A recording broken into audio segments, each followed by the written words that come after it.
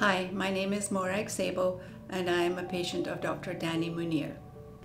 My condition was that my bladder was slipping out through the vagina and that scared me greatly so I went to see the gynecologist first who then told me that I had a cystocele and that I would have to go and see a urogynecologist.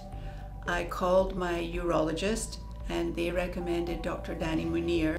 And so I did some research on Dr. Munir and decided that I would make an appointment to go and see him, which I did. Dr. Munir was very compassionate, very kind.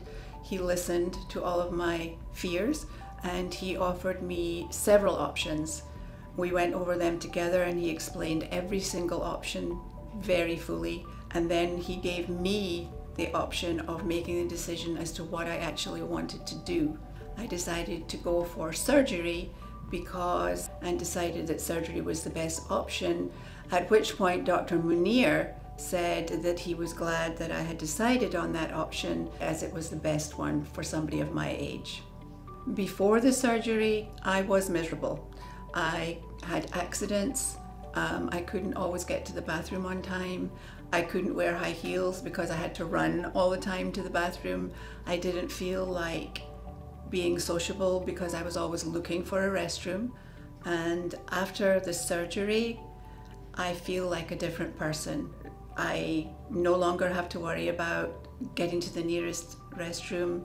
I don't have any bladder leaks. And generally, I feel more confident and better about myself completely. I would absolutely recommend this procedure to other patients.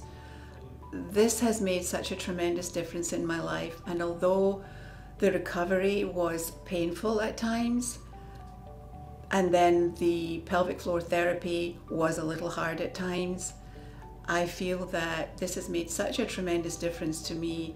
I look better, I feel better. My husband thinks that I'm I look better and I feel better and it's just made me a happier person.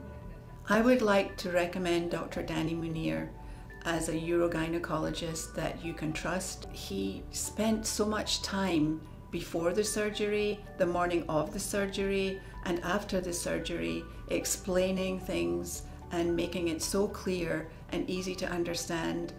And I would recommend him to anybody who has the need for this kind of treatment.